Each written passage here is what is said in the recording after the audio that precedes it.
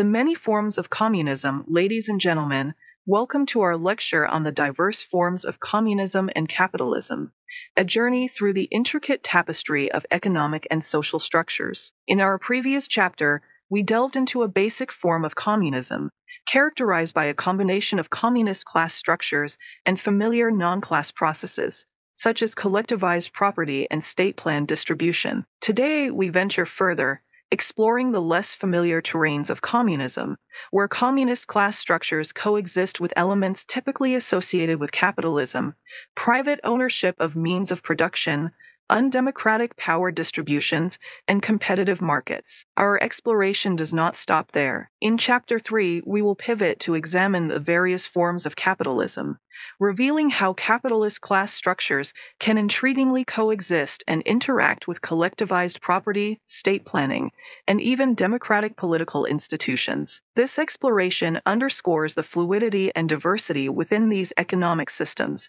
challenging traditional binaries and simplistic definitions. Central to our discussion is the concept of class structure, particularly the distinction between communism and capitalism based on surplus production and appropriation. In all forms of communism, a collective of surplus producers also appropriates and distributes the surplus, setting it apart from any form of capitalism where surplus appropriation and distribution are carried out by different entities from the producers. This surplus based demarcation offers a fresh perspective, distinct from traditional views that focus on property distribution, resource and product distribution mechanisms, and power structures. Our journey also critically examines the historical and theoretical debates surrounding these concepts especially in the context of the USSR. We will delve into how the absence of a surplus labor approach, as initiated by Marx, influenced the trajectory of socialist and communist regimes. The dissatisfaction and alienation under regimes of collective property and planning,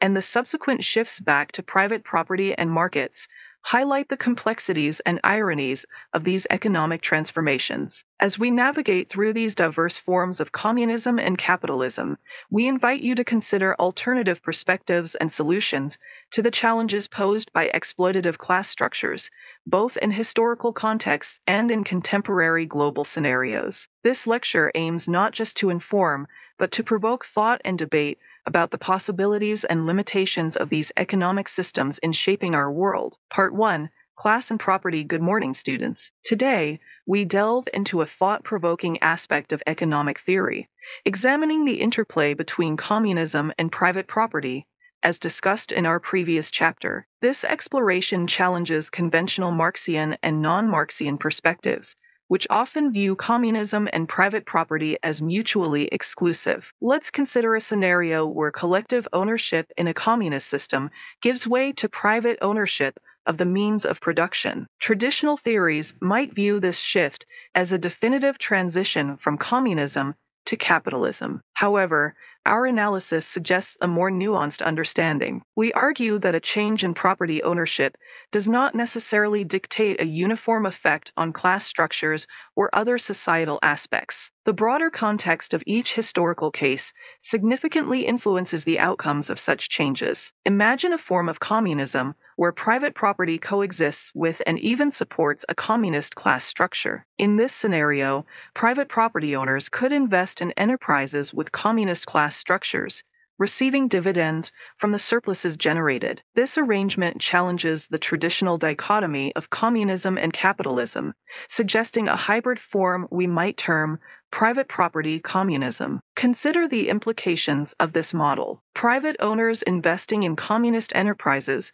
could receive dividends similar to capitalist enterprises. Yet the workers in these enterprises, despite the private ownership of means of production, could still collectively produce appropriate and distribute their surpluses. This arrangement does not inherently lead to a labor market typical of capitalist systems. Workers could be guaranteed employment and allocated to enterprises by state officials, regardless of whether the means of production are privately or collectively owned. This model also raises questions about the distribution of surpluses and the potential for inequalities. For instance, the dividends paid to private owners could lead to unequal income distributions. Moreover, the involvement of private property in a communist structure could introduce unique strains and tensions, such as jealousy and resentment over changing distributions of property. Laws might be enacted to mitigate these tensions, such as mandating rotation through different class positions or limiting property inequality through taxation. Our discussion also extends to the potential contradictions and dynamics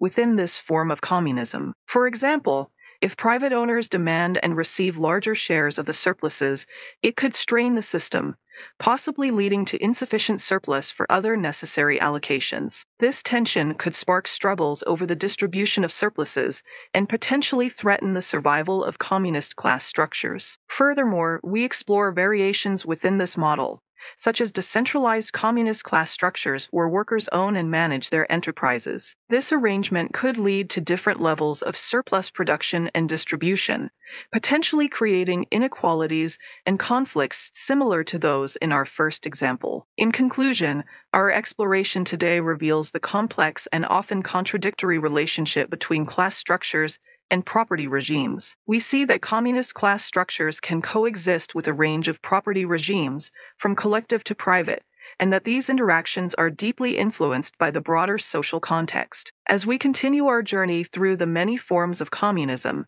let's keep in mind the dynamic and evolving nature of these economic systems and the myriad possibilities they present. Part 2 Class and Markets. In this monologue, I aim to delve into the intricate relationship between class structures, particularly communist class structures, and markets and how they coexist, interact, and sometimes conflict within a societal framework. Let's imagine a society where two primary enterprises exist one producing cloth and the other food. Both operate under communist class structures, but within a market system that involves exchanges between buyers and sellers. Here, workers collectively produce and sell their outputs. A portion of their sales revenue is derived from their necessary labor which the collective uses to pay individual wages. The surplus labor generates additional revenue, which is also collectively appropriated and distributed. This scenario presents a unique blend of communist labor and commodities intertwined with market dynamics. These commodities and the terms associated with them, like value, surplus value, price, and profit,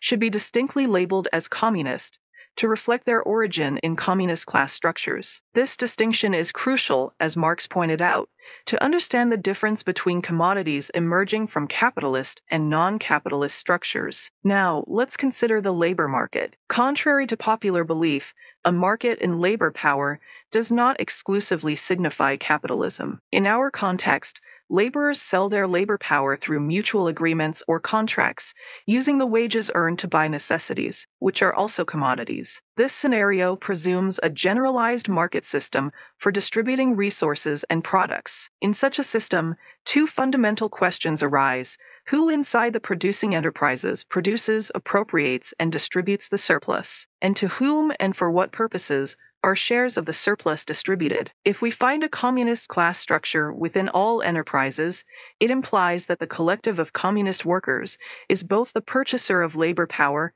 and the seller of its products. The collective buys labor power from its members, combines it with other means of production, and then sells the output in the market, using part of the revenue for wages and the rest for collective appropriation and distribution. This form of communism where communist class structures coexist with markets, can be termed market communism. However, this blend of market communism isn't without its complexities and contradictions. For instance, it might necessitate new laws and a shift in social consciousness. Laws might require laborers selling their labor power to communist enterprises to become part of the collective that appropriates and distributes surplus labor. A new social consciousness might normalize the dual role of workers as both individual sellers and collective buyers of their labor power. A state coexisting with such a market system and communist class structures would likely play a pivotal role in securing these laws and social consciousness. Rather than planning economic activities, the state might focus on creating and enforcing laws that support the coexistence of markets and communist enterprises. It might also engage in cultural campaigns and education to instill norms necessary for this social combination. However, this scenario raises several questions. Does the coexistence of generalized commodity production and communist class processes in enterprises threaten the survival of these communist class processes? How does the notion of collectivity among workers fare in the competitive, individualistic, and alienating environment of markets? Are markets inherently linked to capitalism? In addressing these concerns, we must consider the complex, contradictory relationship between wage labor and class structures. In capitalist systems, workers selling their labor power to capitalists experience alienation from their surplus labor the labor process, its fruits, and even from each other. This alienation can lead to problems like low motivation and productivity, threatening the survival of capitalist enterprises. Similarly, if workers sold their labor power to communist enterprises, similar problems could arise, potentially undermining communist class structures. However, the relationship between wage labor and class structures is not one dimensional. Capitalist economies have developed ways to manage the alienation of wage earners. Similarly, societies with communist class structures within enterprises might find ways to manage alienation. Moreover, individuals' motivations and productivities are shaped by multiple factors, not just market processes. Communist class structures would interact with other social processes to shape workers' experiences in the market and production. The coexistence of communist class structures and markets also involves dealing with market instabilities such as unemployment. How communist societies respond to these challenges through state policies or private sector adjustments can significantly impact the survival and evolution of communist class structures. In conclusion,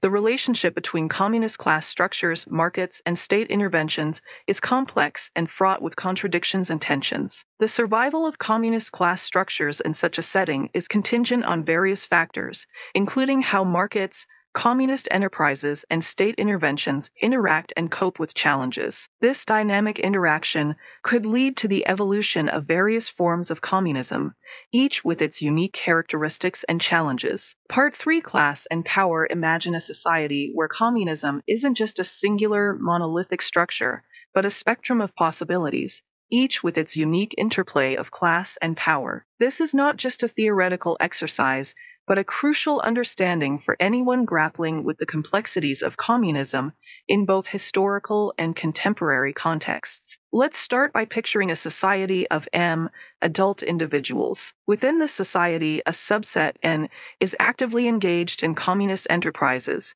producing, appropriating, and distributing surplus labor. The remaining M individuals are not directly involved in these communist processes. Now, consider how power, the authority to govern and direct activities and relationships, including those related to the communist class structure, is distributed among these individuals. This distribution of power is pivotal as it shapes the form and function of communism in the society. Firstly, imagine a scenario where every one of the M adults holds equal power. This could be termed a complete social democracy, where everyone has an equal say in ordering social activities and relationships, including those tied to the communist class structure. In this setup, the incommunist workers, while they manage the surplus, must share decision making power equally with all other citizens. This form of communism could be appealing due to its egalitarian nature, but it's not without potential tensions and contradictions,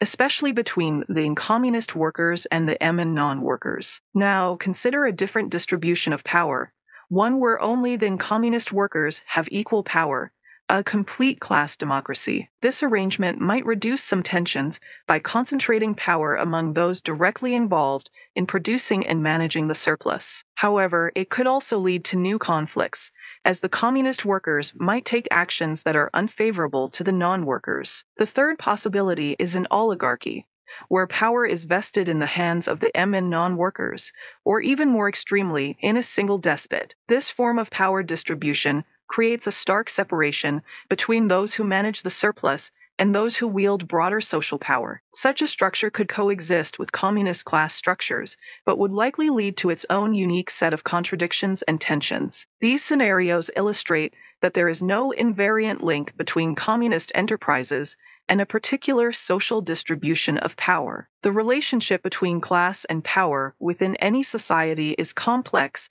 and not deducible from one another. Each distinct coexistence of communist enterprises and a particular social distribution of power displays its unique contradictions. But let's push our understanding further. Beyond these variants of communism lies the concept of a classless communist society. This idea, suggested by Marxian theory, envisions a society where the division between necessary and surplus labor dissolves. In such a society, all labor contributes equally to the production of use values, and no portion of labor is designated as surplus. This absence of class processes would necessitate a radical reorganization of work and the allocation of products. It would require a society where the distribution of skills, education, and cultural ethos supports this classlessness, and where politics directly addresses the needs and wants of the community, unencumbered by the imperatives of maintaining a class structure. In a classless society,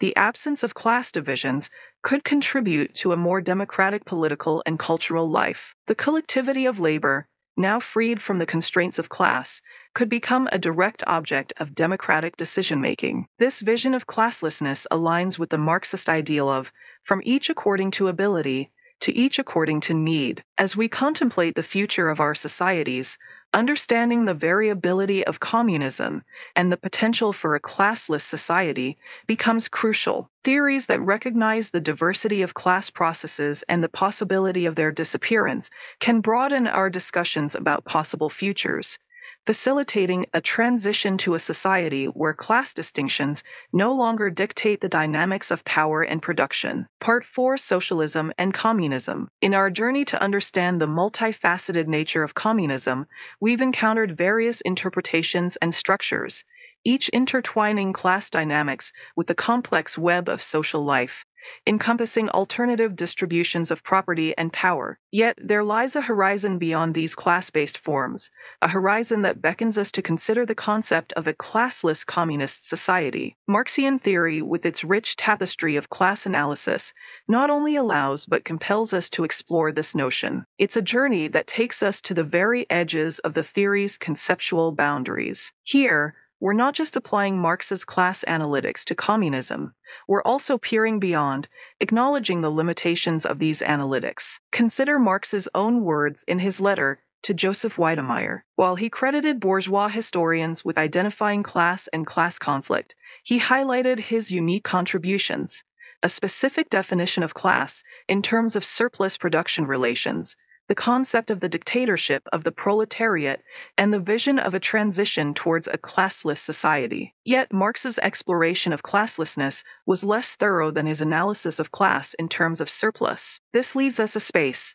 a space to build an understanding of what a classless society might entail. The term classless society is intriguing in itself defined more by what it lacks than what it possesses. In such a society, the fundamental Marxian distinction between necessary and surplus labor dissolves. This dissolution marks the end of the class process as we know it, much like how other historical phenomena have faded into obscurity. But what does this absence of class processes truly mean? It raises profound questions about the nature of labor, the organization of society, and the very fabric of our social interactions. In a world without class processes, labor is no longer divided into necessary and surplus. Every form of human labor, whether in producing goods, developing culture, or shaping politics, becomes a unified, necessary part of the societal fabric. Imagine a society where the organization of work, the allocation of products is driven not by class needs, but by the collective needs and wants of the community. The very notion of profit, rent, or interest as class categories becomes irrelevant. This is the essence of classlessness. However, achieving and sustaining such a society requires more than just the absence of class structures. It demands a radical transformation in politics, culture, and education. Politics must evolve to directly address the what, how, and for whom of production, free from the constraints of class maintenance. Culturally, There must be a universal development of skills and an ethic prioritizing equality and classlessness. The transition to classlessness also implies profound social effects. It challenges hierarchical divisions, democratizes political and cultural life, and opens up new possibilities for collective decision making. It embodies the principle of from each according to ability to each according to need. As we look towards the future, the role of Marxian theory becomes crucial. It's not just about understanding the differences between communist and non communist class structures, but also about envisioning the transition to classlessness. Theories that fail to acknowledge the possibility of a classless society may inadvertently hinder our journey towards it. In conclusion, the concept of a classless society extends our discourse on communism, challenging us to envision a future beyond the confines of class and surplus. It's a bold step, one that requires us to reimagine the very foundations of our social structures and relationships. Socialism and communism, comparing and contrasting socialism and communism, involves delving into their definitions, interpretations, and the various perspectives from which they are viewed. Here's a bullet point comparison and contrast based on the provided text. Similarities 1. Broad isms. Both socialism and communism are broad terms that invite diverse interpretations based on economic, political, or cultural perspectives. 2. Utopian dystopian visions. They are often associated with utopian ideals or dystopian fears, influencing interpretations and expectations. 3. Focus on power structures. Contemporary thinkers, both left and right, often focus on the organization and distribution of power in defining and assessing socialism and communism. 4. Cultural considerations. Both ideologies are sometimes defined in terms of cultural aspects, particularly in how they shape human consciousness and ethics. 5. Economic aspects. Economically, they are often associated with collectivized property ownership and the suppression of market mechanisms in favor of economic planning. 6. Perceived failures. There is a general consensus across different viewpoints that the 20th century experiments in socialism and communism, e.g., in the USSR, China, Cuba, were failures, though the reasons for these failures are debated. Differences 1. Class processes and classlessness. Communism is defined as a social formation where communist class processes and classless production arrangements predominate, whereas socialism does not necessarily involve a class process or classlessness. 2. State intervention and social welfare. Socialism is often associated with state economic intervention, state provided social safety nets, and income equality, irrespective of its surplus labor dimensions. 3. Transitionary nature. Socialism is sometimes seen as a transitional phase between capitalism and communism, but this is not a universally accepted view. 4. Dictatorship of the proletariat. The concept differs in the two ideologies. In communism, it implies state support for communist class structures and classlessness, whereas in socialism, it relates to state management and regulation of the economy for broader social welfare and equality. 5. Political democracy. The presence or absence of political democracy is often a central defining characteristic of genuine socialism and communism, but this is subject to debate. 6. Teleological differences. The text rejects the notion that socialism necessarily leads to communism, emphasizing that transitions can occur in any direction among various social structures. 7. Practical application and historical context. The application and interpretation of socialism and communism have varied historically and geographically, often leading to inconsistencies in their definitions and practical implementations. In summary, while socialism and communism share broad thematic similarities in terms of their economic, political, and cultural dimensions, they differ significantly in their conceptualization of class processes the role of the state, the nature of their transition, and their practical applications in historical contexts. Notes Summary of key takeaways 1. Evolution of theoretical perspectives. The work of theorists like Kuron and Modzelewski highlights the evolving nature of socialist and communist theories. 2. Universal participation in governance. The idea of mandating voting in all elections, regardless of individual differences, is a concept that transcends both communist and capitalist societies. 3. Changing nature of capitalism. The role of corporate boards and the separation of ownership, management, and surplus appropriation in contemporary capitalism reflect its evolving nature, comparable to changes in communist systems. 4. Market coexistence with various class structures. Marx acknowledged that markets could coexist with different class structures, indicating a more nuanced understanding of economic systems. 5. Communist collective dynamics. The concept of a communist collective hiring individual members parallels capitalist structures where boards hire managers. 6. Determinism and worker consciousness. The classic Marxian theory of alienation and the role of markets in shaping worker consciousness are debated, with a rejection of determinism and an acknowledgement of the complexity of alienation. 7. Complexity of economic analysis. The difficulty in measuring the net effects of economic events, like market failures, highlights the limitations of cost benefit analyses and their inherent biases. 8. Class perspectives in state policies. State policies and different economic systems, communist versus capitalist, reflect distinct class goals and approaches to employment and exploitation. 9. Debates on the USSR's socialism. Discussions about whether the USSR was truly socialist often revolve around the extent of its substantive democracy. 10. Class structures in various societies. The recognition of different class structures, including communist ones, coexisting with various forms of governance like despotism. 11. Class analysis and surplus labor. The importance of focusing on surplus labor in class analysis and the issue of class blindness in other approaches. 12. Communism and classlessness. The understanding of communism as classless and the need to incorporate the concept of classlessness in class analysis. 13. Labor analysis in economic theories the distinction between necessary and surplus labor in Marxist analysis versus the neoclassical economic theories approach. 14. Critical assessment of definitions. The importance of critically assessing definitions of socialism and communism in the literature. 15. Communism as a goal in Soviet socialism.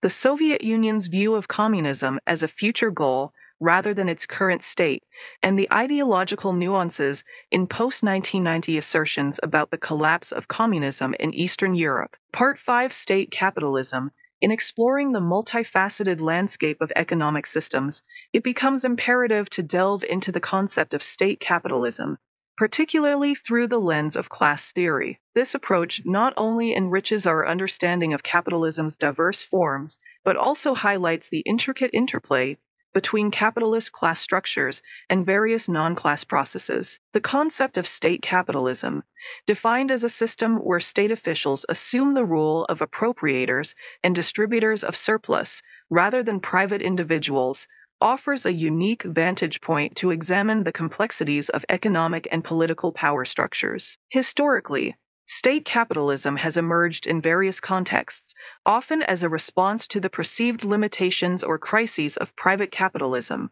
or as an ideological choice. It represents a paradigm where the state, rather than acting as a mere regulator or facilitator, becomes an active capitalist player. This involvement ranges from direct investment and management of enterprises to the appropriation and redistribution of surplus generated by workers. This form of capitalism, while sharing some characteristics with its private counterpart, diverges significantly in terms of ownership, control, and the distribution of economic benefits. The evolution of state capitalism in the Soviet Union, particularly in its industrial and agricultural sectors, provides a critical case study. It exemplifies how state capitalism can function and evolve, challenging traditional notions of both capitalist and communist economic structures. Unlike private capitalism, where surplus accrues to private owners or shareholders, in state capitalism, this surplus is controlled and distributed by state entities. This shift in control and distribution has profound implications for workers, who, while still engaged in surplus production, face a different set of dynamics in their labor relations and rights. Globally, State capitalism is not an anomaly confined to communist states or those with centrally planned economies. It manifests in various forms across the world, with differing degrees of state intervention and control in the economy. This includes scenarios where governments own or control key sectors, even within predominantly market based economies. The coexistence of state capitalism with market mechanisms further adds to its complexity, as state operated enterprises may participate in competitive markets or exert significant control over them. The objectives driving state capitalism are as diverse as its forms, ranging from economic development and social welfare to national security and political consolidation. These goals profoundly influence how the state functions as a capitalist entity, affecting everything from investment decisions to labor policies. In summary, the class theory perspective on state capitalism not only sheds light on the economic mechanisms at play, but also unravels the social and political dimensions of this economic form. It provides a comprehensive framework to understand how different forms of capitalism, influenced by varying motivations and goals, shape societies economies, and the global economic landscape, capitalisms and exploitation. Good morning, students. Today, we delve into a critical aspect of economic theory and history the nature of capitalism, and its intrinsic relationship with exploitation. Our discussion will be grounded in the foundational works of Marx and the evolution of capitalist systems over time. Let's begin by understanding the fundamental premise of capitalist class processes. In a capitalist system, there is a clear distinction between those who produce surplus and those who appropriate it. The producers of surplus often the laborers, do not get to appropriate what they produce. This disconnection is the crux of exploitation in capitalism. The capitalist and the laborer are distinct entities, and their relationship is inherently exploitative. In contrast, let's consider communist class processes. Here, the producers of surplus are also its appropriators. This collective appropriation in communist systems means that the exploitative element present in capitalism is absent. Now, Let's turn to Marx's theory of capitalism. Marx identified several features of capitalism relevant to the time and context he was writing in. For instance, in his seminal work, Capital, he discusses the exchange of privately owned commodities as a key feature of capitalism. However, it's crucial to note that Marx did not assert that capitalist exploitation is inextricably linked to commodities and markets alone. Capitalism, as he saw it, could coexist with various social conditions and take multiple forms. This brings us to an important point the evolution and variation within capitalist systems. For example, Marx briefly touched upon state capitalism, where the government functions as an industrial capitalist, as seen in the operation of mines and railways. This form of capitalism, where state entities own and operate productive assets, represents a shift from private to state forms of capitalism. It's essential to recognize that private capitalism itself can take numerous forms. These range from decentralized structures, where surplus is produced and appropriated across various enterprises, to more centralized forms where surplus production is widespread but appropriation is concentrated. The ownership of productive assets also varies in private capitalism, from classic private owners to modern corporations with shareholders and board directors. Moreover, capitalist class structures can coexist with different market forms, be it free markets, state regulated markets, or non market allocations by the state. The nature of these markets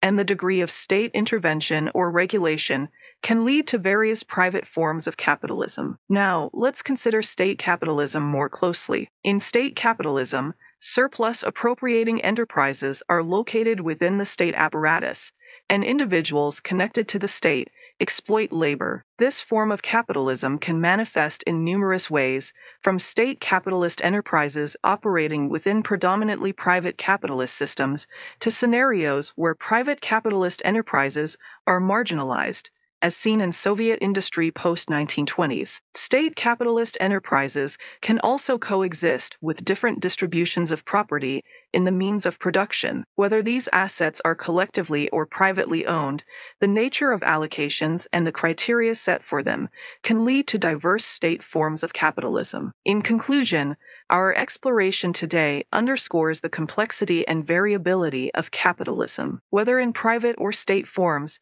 the fundamental aspect of exploitation, as defined by the appropriation of surplus, remains central. As we continue to study these systems, it's crucial to understand not just their operational modes, but also their underlying class and private dimensions. This understanding is key to comprehensively grasping the historical and contemporary landscapes of capitalist economies. Thank you, and I look forward to our continued discussions on this topic. Part 6 Capitalist and Communism Justifying the Label Capitalist in the Context of the USSR. Welcome, students. Today, we will embark on a critical examination of the Soviet Union's economic structure particularly addressing the question was the USSR truly a state capitalist society? This inquiry requires us to delve into Marxist theories and the broader Marxist framework, which identifies different kinds of exploitative class structures. Firstly, let's understand the three primary exploitative class structures recognized by Marx and Marxism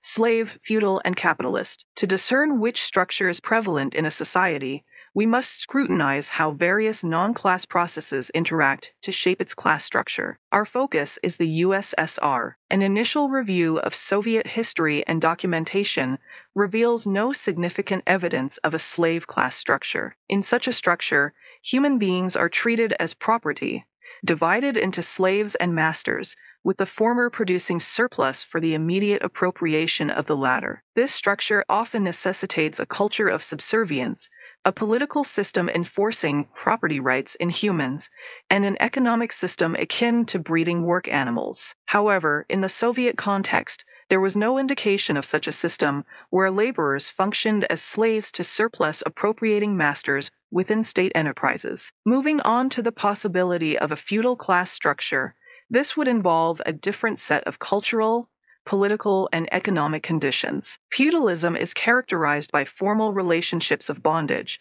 where surplus is produced under personal bonds rather than voluntary exchanges among free individuals. In historical feudal Europe, for example, serfs were bound to land or lords, producing surplus in the form of rents or labor. However, the Soviet system did not align with this model. Soviet workers, though sometimes limited in their rights, were nominally free to choose their employment and had some degree of control over their work conditions. This freedom, coupled with the contractual nature of labor relationships in the USSR, diverges significantly from feudal bondage. Thus, we turn to the hypothesis that the USSR exhibited a capitalist class structure. This hypothesis is not solely based on the elimination of slave or feudal structures, but also on the specific conditions within the Soviet Union. Soviet workers, despite their nominal freedoms, were compelled to sell their labor power in state owned enterprises under exploitative conditions. This situation, where limited freedom coexists with a structured compulsion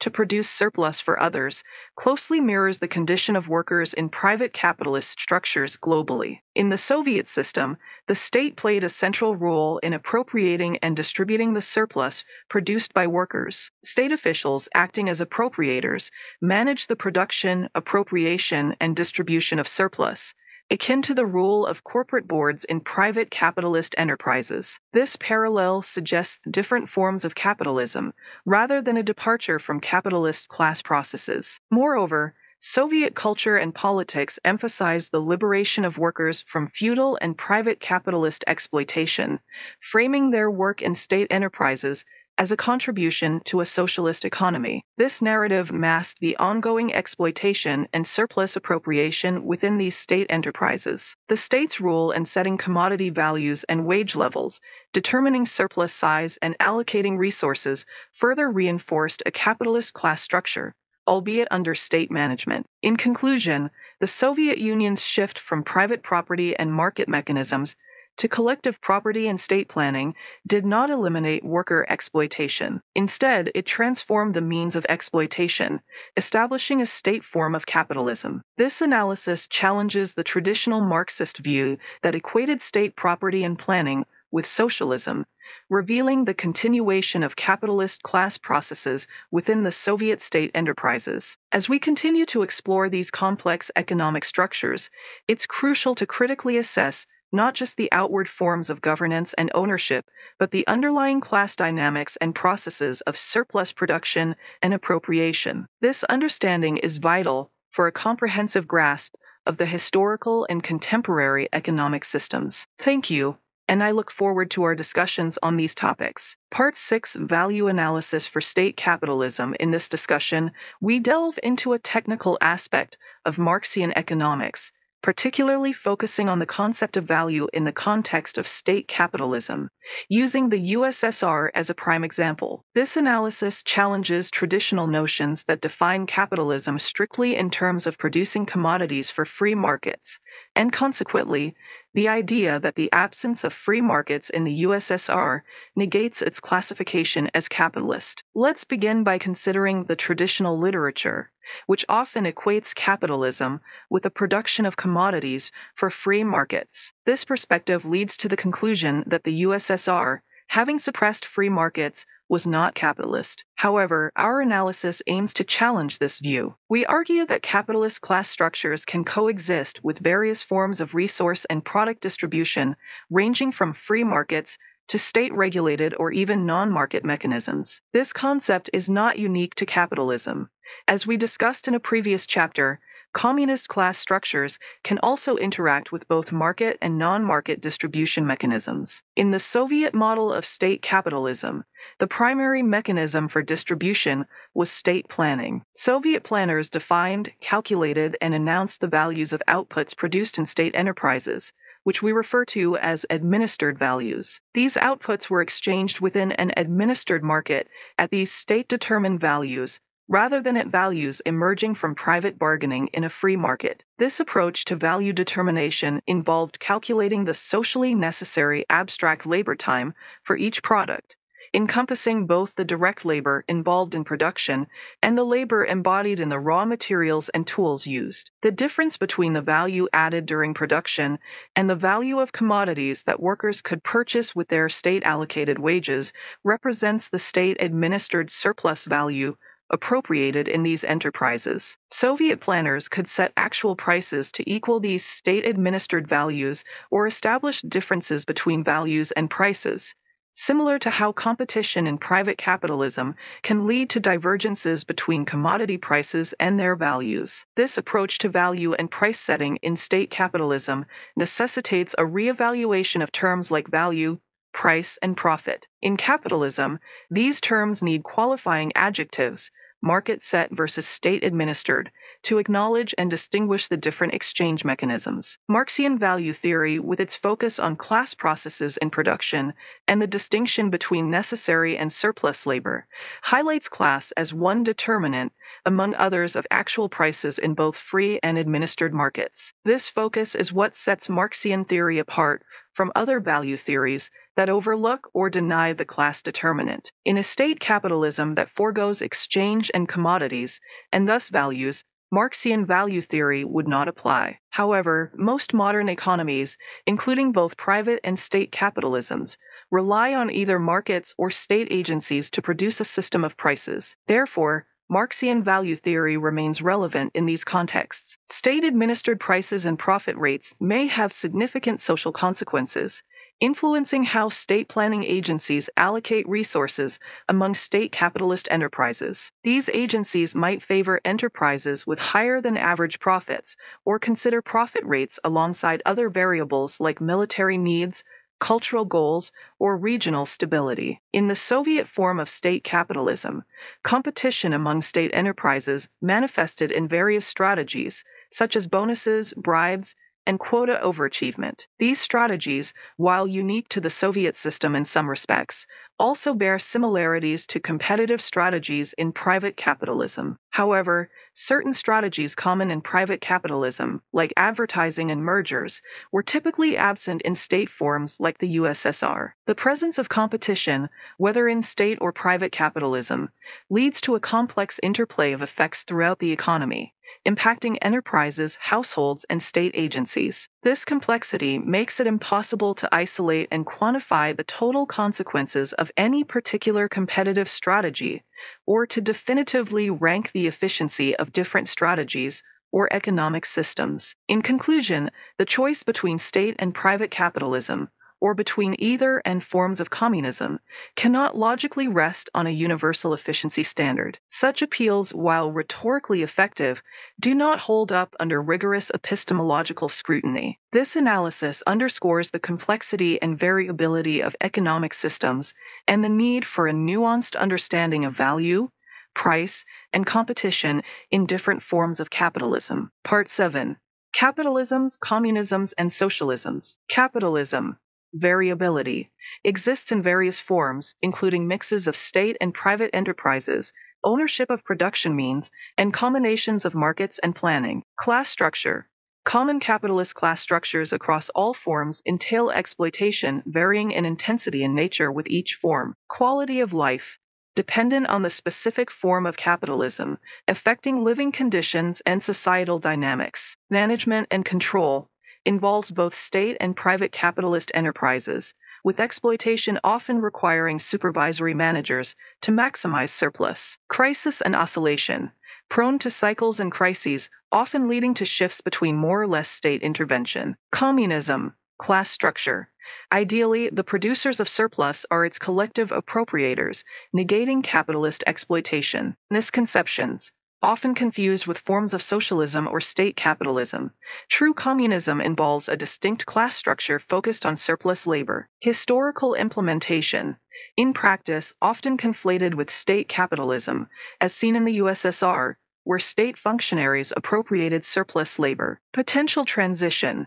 Theoretical possibility of transitioning from capitalism to communism, but historically, this has not been realized due to various factors, including class consciousness and political dynamics. Socialism, state capitalism, often equated with state capitalism, involving state ownership of productive assets, regulation of markets, and provision of basic welfare. Variability can range from minimal to extensive state intervention in the economy. Democratic aspects envisions a more democratic, egalitarian approach compared to private capitalism, though this varies in implementation. Crisis response. Historically, socialism has been a response to crises in private capitalism, leading to more state management. Misconceptions. Frequently confused with communism, socialism in practice has often been a form of state capitalism rather than a negation of capitalist class structures. Key differences and similarities.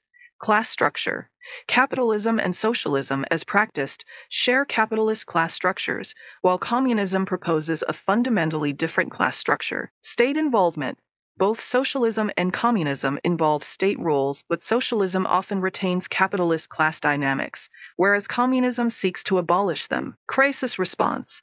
Capitalism and socialism both have mechanisms for responding to economic crises, often leading to shifts in state involvement. Misconceptions and confusions.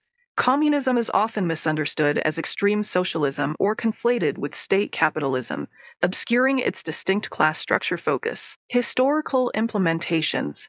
The practical applications of these ideologies have often diverged from their theoretical foundations, particularly in the case of communism and socialism. Good evening, everyone. Today, we delve into the intricate world of capitalism, its various forms, and the implications these have on our lives and societies. Often, when we speak of capitalism, we imagine a monolithic system but in reality, it's far more complex and diverse. Let's begin by understanding that capitalism isn't a one size fits all model. It exists in numerous forms, blending state and private enterprises, ownership models, and planning methods. Whether it's centralized or decentralized planning, market driven or state controlled economies, the essence of capitalism, the capitalist class structure, and the inherent exploitation remains consistent albeit varying in intensity and manifestation. Consider, for instance, the Scandinavian model, often cited as a blend of market capitalism and strong welfare policies. Here,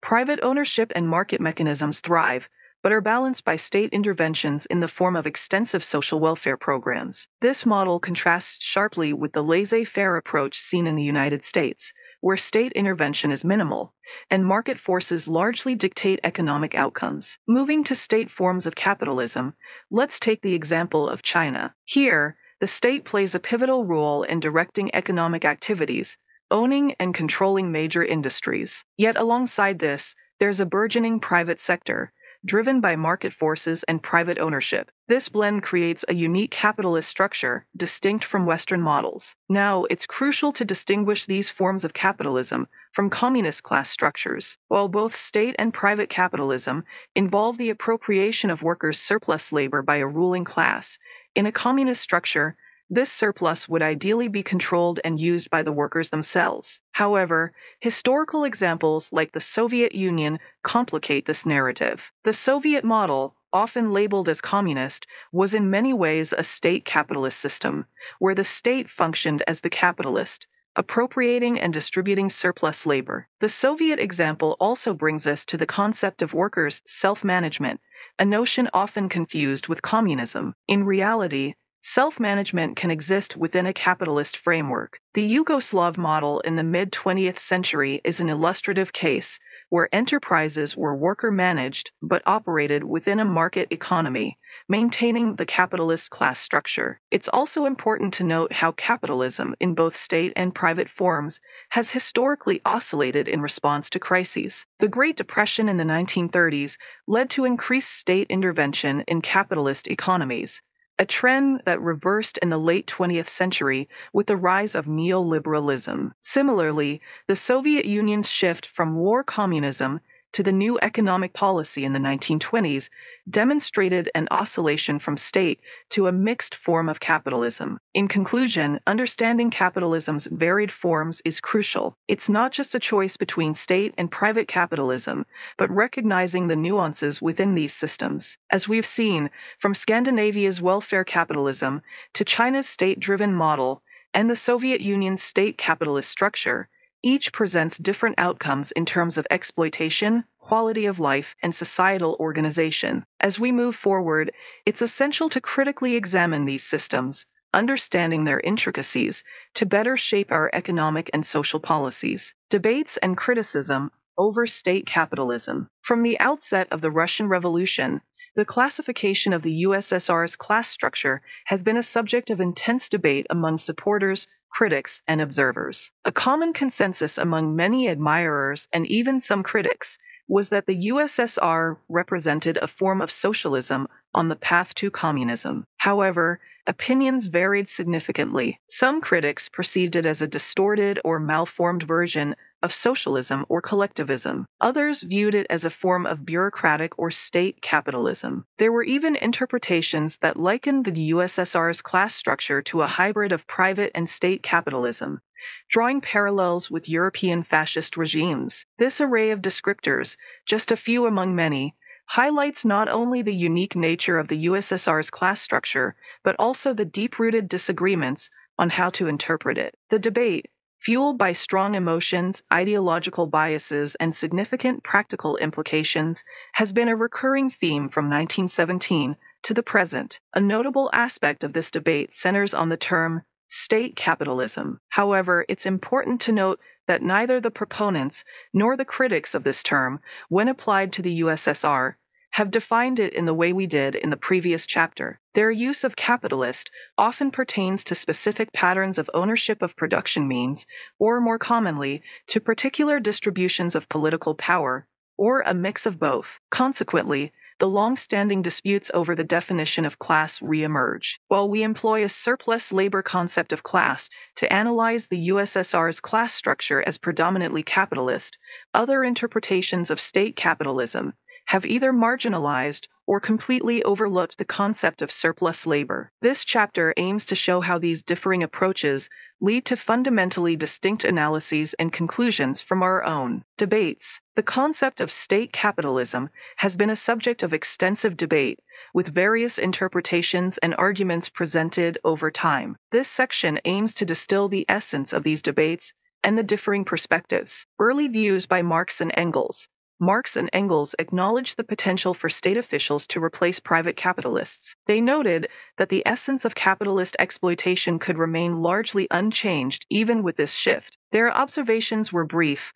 likely due to the rarity of state capitalism at the time. However, they emphasized that the replacement of private individuals by state officials did not fundamentally alter the nature of capitalist exploitation. Marxist interpretations pre Soviet revolution.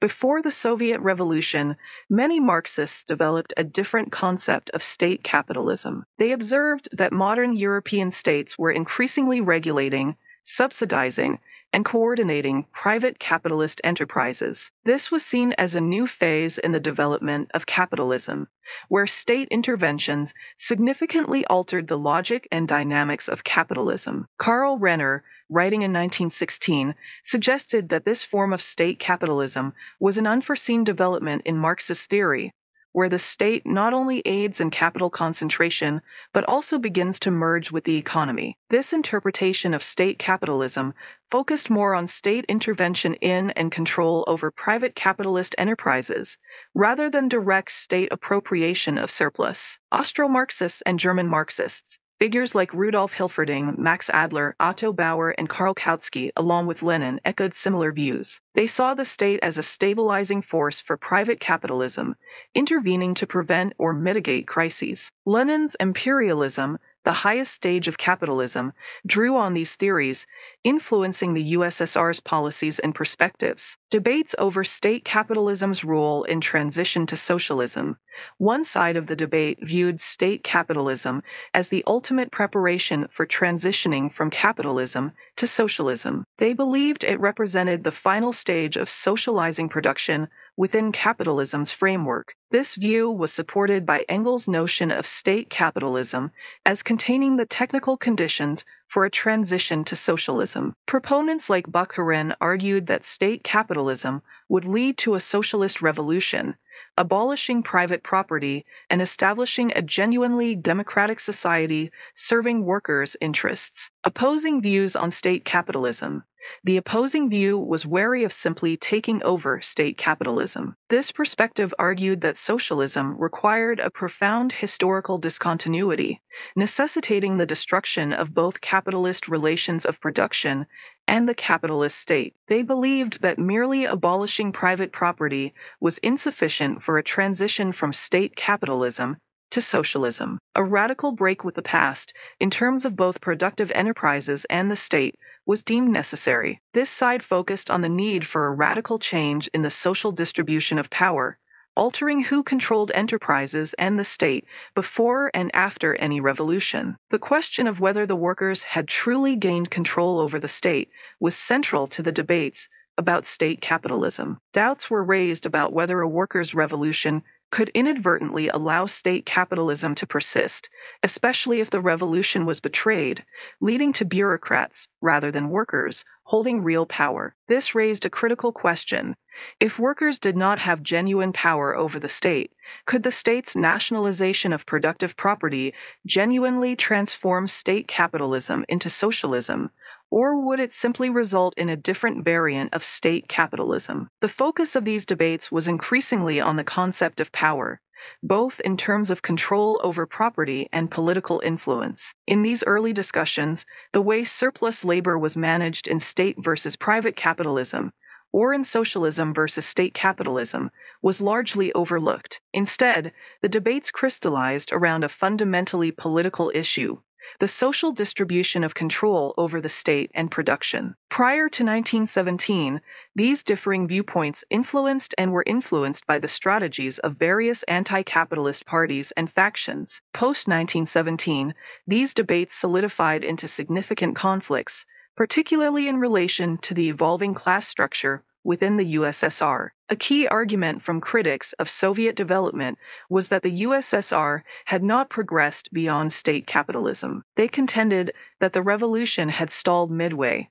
failing to transition from private capitalism to socialism. Despite the formal abolition of private property, they argued that actual control and power had coalesced around the Communist Party and a state bureaucracy, without achieving a significant shift in power dynamics. This was seen as a failure to break away from the traditional power held by a few over the many. Moreover, by emphasizing the dominant role of the Communist Party, positioned as the vanguard representative of all Soviet workers, state capitalism was effectively being despised as socialism. As the prominent Marxian Menshevik Martov suggested, Soviet workers were enduring the hardships and injustices typical of capitalism within the concentrated state capitalism of a backward society. In the early years following the Russian Revolution, defenders of the Soviet Union's development path, including Lenin himself, embraced the concept of state capitalism but with a positive connotation. Echoing Engels, they viewed Soviet state capitalism as an essential transitional phase between the overthrow of capitalism and the realization of socialism, and eventually communism. Lenin, confronting the unpredictable nature of social conditions, periodically advocated for a controlled form of state capitalism as a means to socialist ends. He believed that the workers were moving towards socialism through the capitalist management of trusts and large scale industry. For Lenin, the workers, not being petty bourgeois, were not intimidated by large scale state capitalism, but rather valued it as a proletarian tool wielded by their Soviet power. Lenin argued that state capitalism, under the control of workers committed to socialism, i.e., the communists, was an acceptable and necessary stage for the USSR to traverse. The ongoing transition was contingent on the security of Soviet power. In his view, it was not the organization of surplus labor that was crucial, but rather the power dynamics that were central to these qualified endorsements of state capitalism in the USSR. After Lenin's death in 1923, the term state capitalism became less common among defenders of the USSR as a descriptor for state industry. With Stalin's rise to power in the late 1920s, the term virtually disappeared. Instead, those who admired or defended the USSR's class structure labeled it socialism. They reasoned that by abolishing private property in the means of production, replacing markets with state planning, and subordinating the state to the workers' power via the Communist Party, the USSR had eradicated capitalist exploitation and classes altogether. With socialism established and communism on the horizon, there seemed no need for class analyses of Soviet society. Lenin and others, under various pressures, also offered alternative definitions of state capitalism and its relationship to socialism. At times, they characterized large state owned and operated enterprises as capitalist due to their hierarchical authority and wage structures and the involvement of capitalists and bourgeois technicians. Lenin saw the state monopoly capitalism as a progressive step towards socialism in a truly revolutionary democratic state. He believed that the Soviet state could and would transform it into socialism in the near future. Trotsky echoed this sentiment, emphasizing that the dictatorship of the proletariat was not about how individual economic enterprises were administered, but about the abolition of private property in the means of production and the supremacy of the workers' collective will. This evolution in Soviet thought acknowledged that state owned industrial enterprises could be capitalist in nature due to their internal organizational structures. However, these capitalist organizations of production were seen as temporary steps towards socialism, controlled by the Soviet state. Eventually, such state owned and operated industries were considered socialist by virtue of their subordination to the power of the Soviet state, rendering their internal organization of production were relevant to the distinction between capitalism and socialism. In the theoretical landscape shaped by Lenin and Trotsky, state capitalism and socialism are distinguished not by the functioning of their productive enterprises, but by who controls these enterprises and for what purposes. Lenin succinctly stated Socialism is nothing but state capitalist monopoly made to benefit the whole people. Thus, it ceases to be capitalist monopoly. This perspective shifted the focus of debates over state capitalism and socialism in the USSR from the nature of production processes to questions of control and management, who holds the reins of the economy, sets wage levels, and determines policy goals. Central to these debates was the issue of power distribution, whether control over enterprises lay with the state or with others. This focus on power rather than the presence of exploitation within production structures, became the key criterion for differentiating socialism from capitalism. Trotsky, emphasizing power dynamics, rejected the notion of state capitalism as irrelevant to the USSR. He argued that replacing private with state ownership of production means shifting control from private hands to the state was fundamentally incompatible with capitalism. For Trotsky, the complete expropriation of private capital in the USSR which removed control from private capitalists, rendered the term state capitalism inapplicable and misleading. He saw the distribution of power over productive assets as the decisive factor in determining the USSR's class nature. However, Trotsky also acknowledged that the Soviet bureaucracy's political actions could distort the achievements of 1917 potentially leading back to private capitalism. He focused on the distribution of power within the USSR as the crucial factor in determining its future trajectory. Both Lenin and Trotsky, in their respective ways, steered discussions about the USSR towards an analysis not of exploitation or surplus labor organization, but primarily of power distribution. Consequently, questions about the real power of Soviet workers, their influence through the party, and the control exerted by state bureaucrats and party officials became central. Debates revolved around whether these groups acted in opposition to workers' interests, potentially forming new exploiting classes,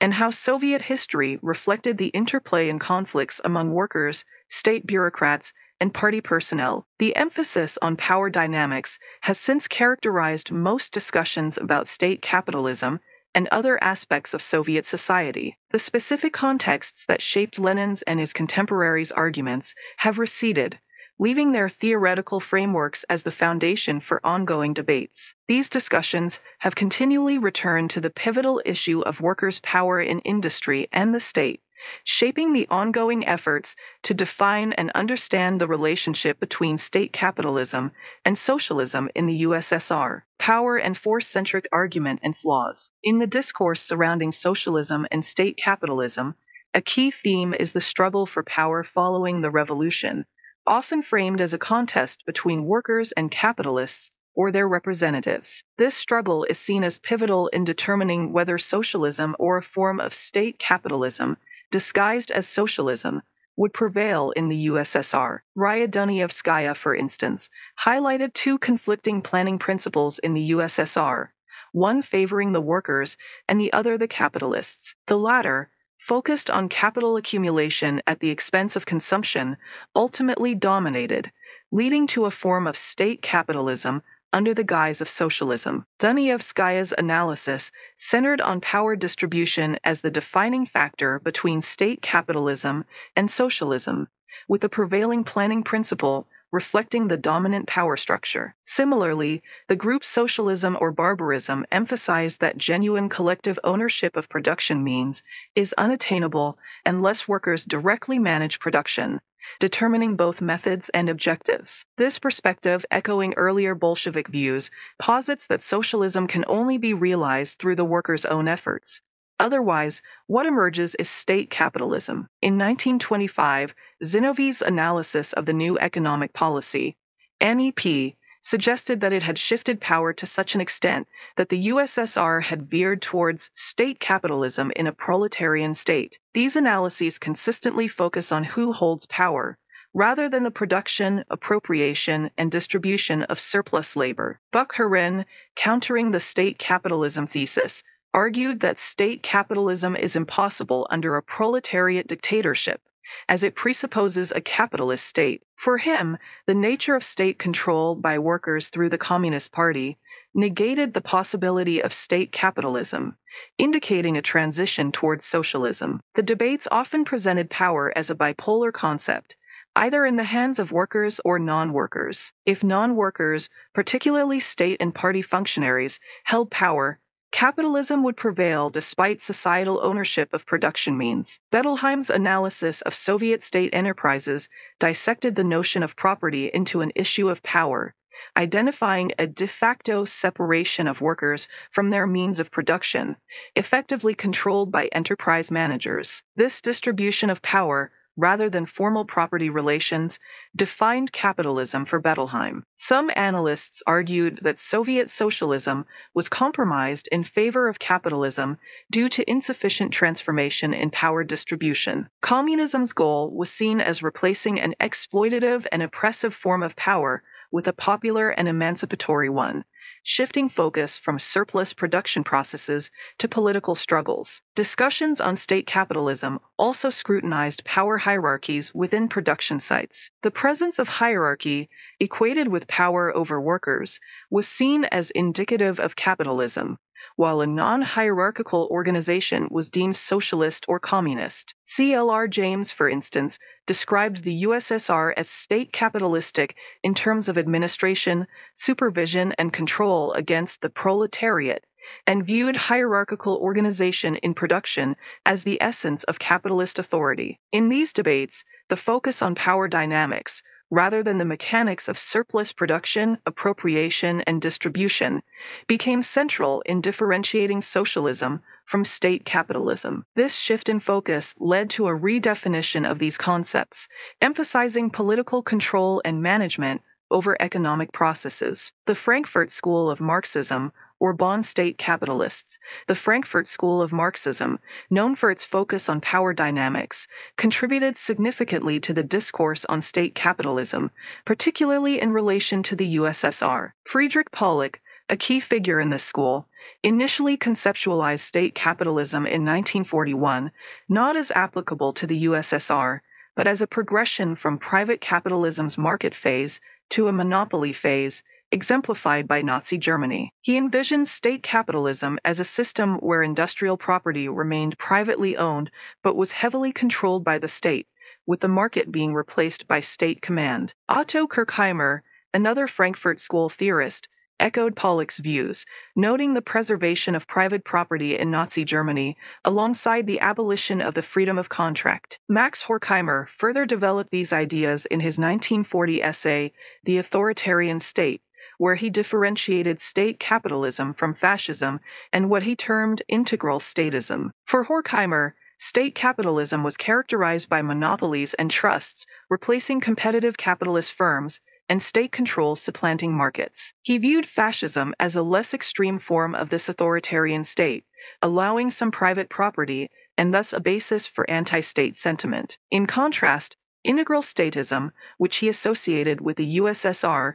represented the most extreme variation, where private capitalists were eliminated and state power became virtually limitless. Horkheimer critiqued the USSR's version of state capitalism as a parody of a classless society, dominated by the oppression of the masses by the state party bureaucracy. He did not see it as socialism in the traditional sense, but rather as a stage in the evolution of exploitative society, potentially leading to a genuine socialist revolution. The Frankfurt School's interpretation of state capitalism focused less on the production and distribution of surplus labor and more on the authoritarian tendencies inherent in contemporary society viewing true socialism as far removed from the authoritarian state's misuse of collective ownership and planning. Pollock emphasized the transition from an economic to a political era with the advent of state capitalism, suggesting a shift in focus from political economy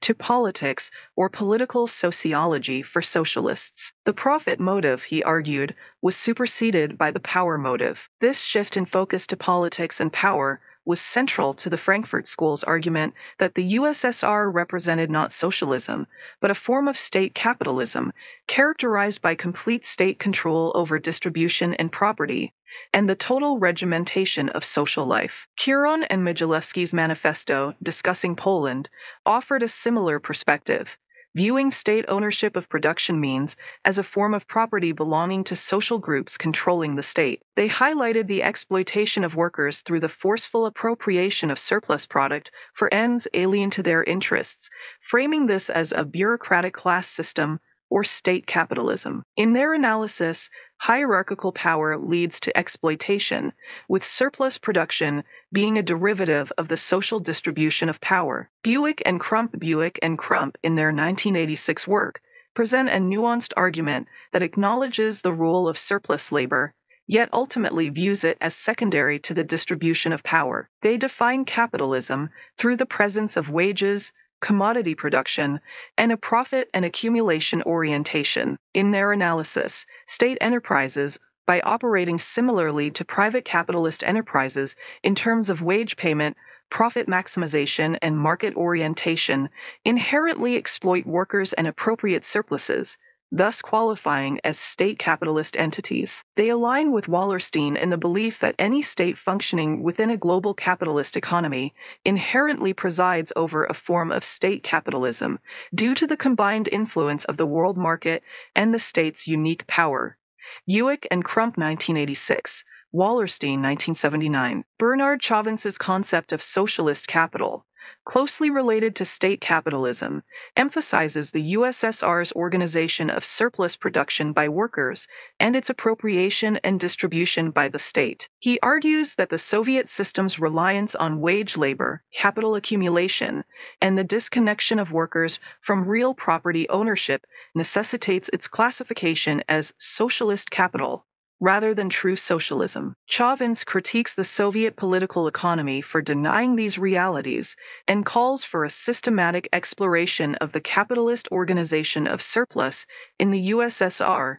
Chavance 1980. Paul Mattick brings a slightly different perspective, focusing on the unequal distribution of social power and bureaucratic status as indicators of state capitalism. He argues that the control of production means by the government rather than society at large, and the perpetuation of inequality in both production and consumption conditions maintain capitalist antagonisms within the state capitalist system. Mattick 1969. These conceptualizations of the USSR as state capitalism share a common thread the view that Soviet nationalization of productive property did not eradicate its fundamental capitalist class nature. This perspective challenges the pre 1917 consensus that the end of private property would signal the end of capitalism, suggesting instead that a de facto change in the social distribution of power is necessary for achieving socialism. Different theorists have elaborated on this idea in various ways. Some focus on the unequal distribution of power over the state, leading to a separation of workers from nationalized means of production, thus re-establishing capitalism in a state capitalist form. Others emphasize the lack of workers' decision making power in production, akin to capitalist enterprise hierarchies, as evidence of state capitalism. Additionally, inequalities in income, prestige, and authority among Soviet citizens are seen as signs of a lack of workers' power equating to state capitalism given the state ownership of property, Buick and Crump 1986. Conversely, defenders of the USSR's socialist nature often link socialism to state ownership and planning, countering the power focused critiques of state capitalism. They argue that power in the USSR did indeed reside with the workers or their representatives, although these claims have often faced skepticism and criticism. This debate between property theorists, defending the USSR as socialist, and power theorists, criticizing it as state capitalist, remains a central theme in discussions of Soviet economic and political structure.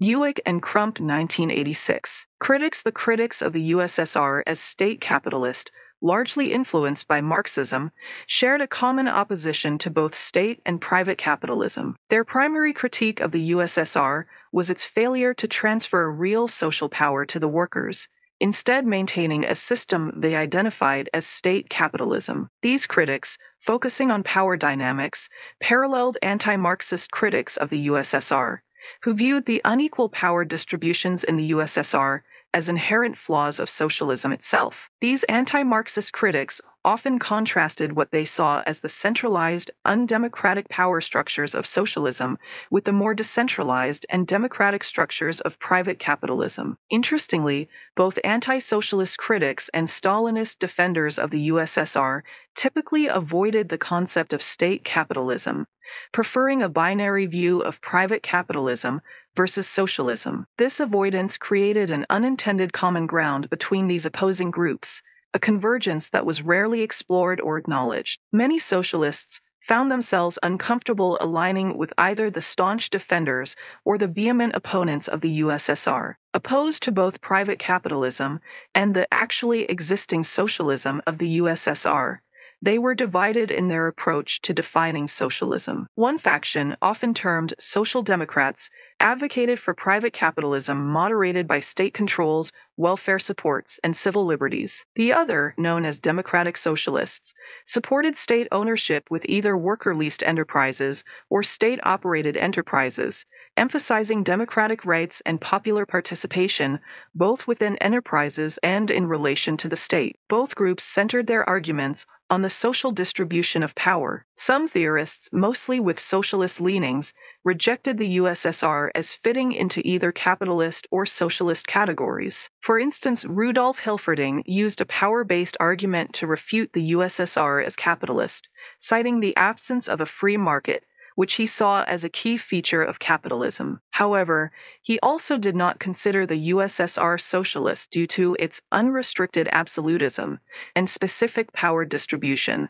labeling it a totalitarian state economy. In these debates, the focus on power dynamics often overshadowed considerations of surplus labor and value, even among those well versed in Marxian economic theories. This shift in focus led to a theoretical landscape where power was the essence, and discussions of surplus were marginalized or ignored. Weakness and problems of power theories, the power theories applied to state capitalism in the USSR, have encountered significant criticisms from various authors and researchers highlighting their conceptual and empirical weaknesses. These critiques primarily focus on the challenges in quantifying and sustaining the notion of power's social distribution. 1. Quantitative determination difficulties.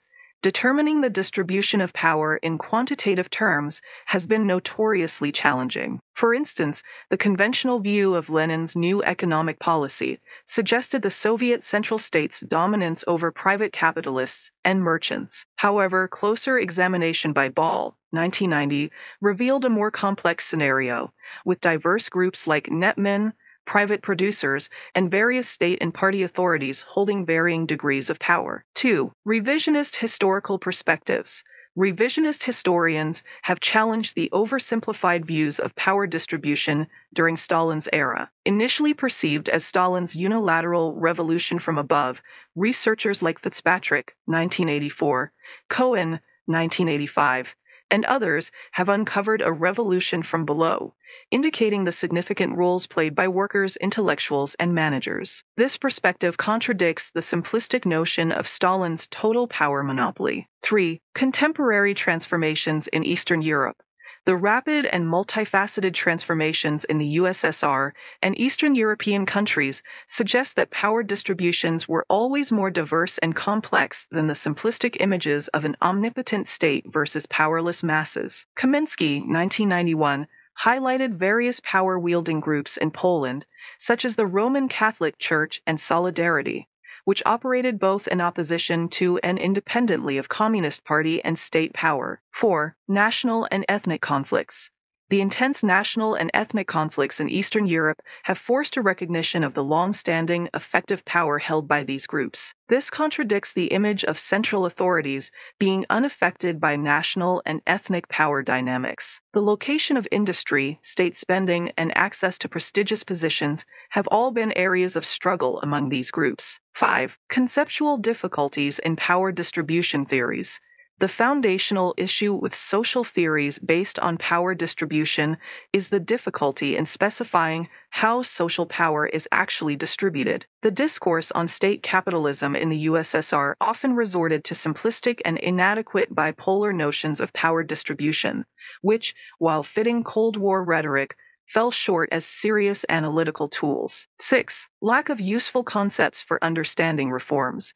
As noted by Cohen, 1992, Sovietologists who long denied the possibility of change in the USSR's system found themselves lacking the necessary concepts to define the success or failure of reforms, especially in the context of shifting power distributions. The second major weakness in the power theories of state capitalism, as applied to the USSR, relates to the ambiguous definition of the term power. Steven Lukes' examination of classic definitions by various authors, including Max Weber, Bertrand Russell, Hannah Arendt, Talcott Parsons, Nikos Poulantzas, and Michel Foucault, reveals significant contradictions in their interpretations of power, Lukes 1986. This ambiguity is compounded by the close association of power with influence, leading to difficulties in simplistically categorizing relationships as having an absence of power on one side and its presence on the other. For instance, in the context of the USSR's state capitalism,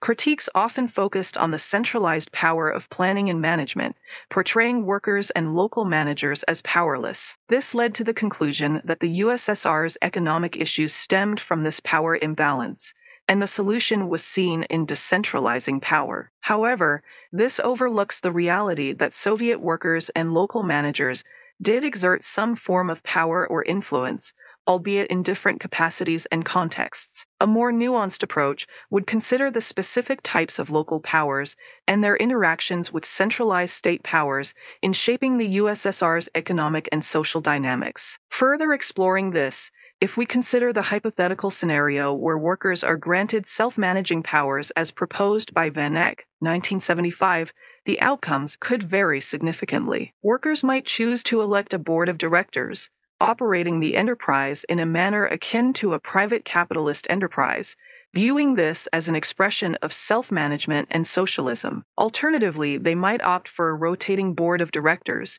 including non workers, focusing on goals other than profit maximization. In another scenario, workers might collectively decide on all aspects of the enterprise, including the management of surplus labor, aligning more closely with the socialist framework. The key question then becomes what aspects of production the self managing workers choose to address. Their focus might be limited to product types and production techniques, neglecting considerations like workers' health, environmental impact, or familial dynamics. Without a Marxian understanding of class in terms of surplus labor, workers' self management might not lead to significant changes in the organization of surplus labor from a capitalist to a communist class structure. In conclusion, the transformation to workers' self management or any enhancement of workers' powers does not necessarily lead to changes in class processes, interpersonal relationships, environmental conditions, or other societal aspects. This reflects the broader argument against essentialism in social theory,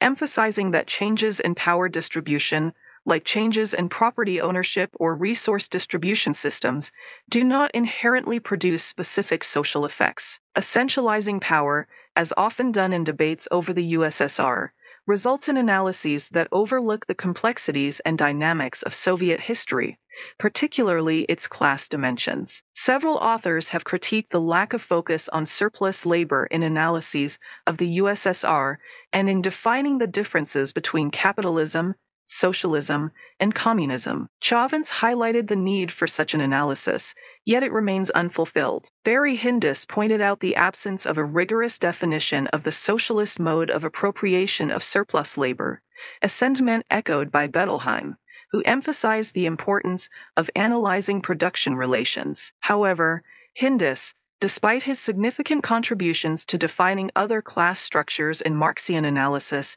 did not develop such a definition for socialism. Bettelheim, while providing a comprehensive class analysis of the USSR, centered his approach on a power definition of class, focusing on management, discipline, cooperation, and labor organization. This approach, while shedding light on power distribution and struggles in Soviet development, overlooked the crucial aspect of surplus labor, which both he and Hindess had identified as a significant gap in Soviet analyses. Kuron and Modzelewski's work is notable for its focus on the distribution of surplus product in a Soviet style economy particularly in Poland. However, their analysis was limited and tangential to their main concern. They overlooked the organization and appropriation of surplus labor, focusing instead on who controls the surplus product's size and distribution. This approach fails to recognize that while individuals can be identified as producers, appropriators, distributors, and recipients of surplus.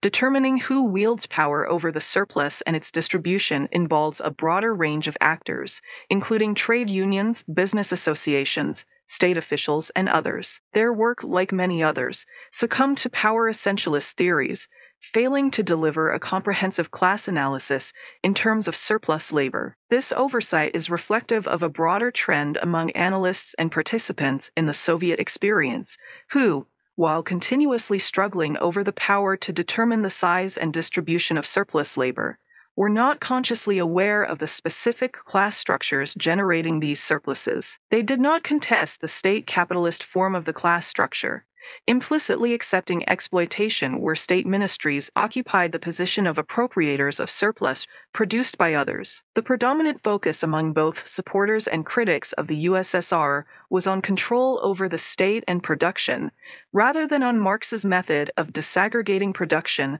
to focus on the organization of surplus labor and its social effects. This led to a general acceptance of the state capitalist class structures in Soviet industrial enterprises without much reflection on how these structures organized the production, appropriation, and distribution of surplus labor. Consequently, most participants and observers of Soviet society overlooked class structures, focusing instead on power dynamics, thereby defining class structures in terms of power rather than surplus labor. Conclusions In this age dominated by bourgeois thought, power has been the central theoretical focus. The pursuit of freedom and democracy, the hallmarks of this era, have often led to a blindness towards class, overshadowed by an overwhelming emphasis on power. This was evident in the Russian Revolution and the subsequent USSR, which, despite using Marx's language, remain fixated on power as the primary object of thought and action. This fixation resulted in a neglect of class